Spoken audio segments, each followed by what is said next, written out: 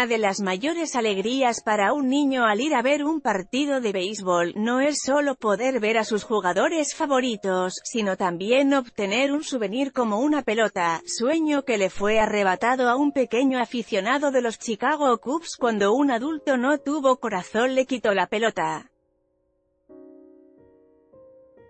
La acción no quedó impune y en las redes han atacado al hombre que tomó la pelota de béisbol que fue entregada a un niño para dársela a la mujer que lo acompañaba.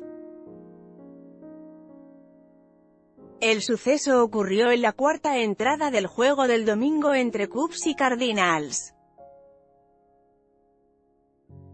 Las imágenes muestran cuando el de primera base Will Venable le lanza una pelota a un niño, que estaba acompañado por una mujer. El menor no atrapa la pelota, que cae entre los asientos, es ahí cuando el hombre de la fila de atrás aprovecha la caída para tomar la pelota.